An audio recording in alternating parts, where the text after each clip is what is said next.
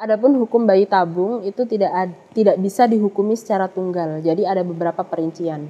Yang pertama, bayi tabung ini bisa diperbolehkan namun bisa juga diharamkan.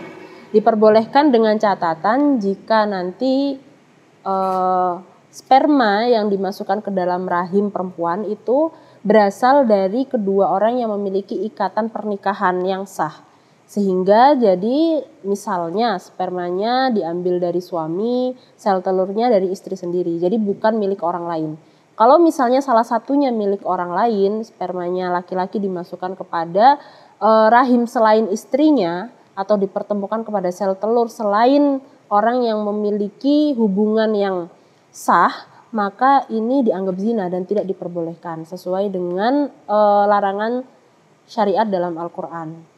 Kemudian yang kedua, hukumnya bisa tidak diperbolehkan jika nanti cara pengeluarannya, cara mengeluarkan spermanya itu wairu muhtarom ataupun cara mengeluarkannya itu melalui mediasi yang diharamkan.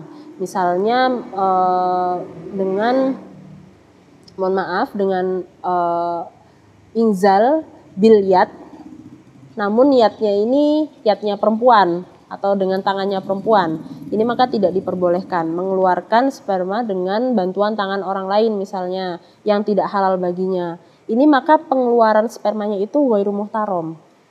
Sehingga tidak diperbolehkan pula bayi tabungnya. Jadi bagaimana bayi tabungnya diperbolehkan. Yang pertama adalah berasal dari sperma dan sel telur suami istri dan cara pengeluarannya itu harus muhtarom, yaitu cara yang memang tidak diharamkan oleh syariat. Demikian. Sekian yang bisa saya sampaikan. Uh, wassalamualaikum warahmatullahi wabarakatuh.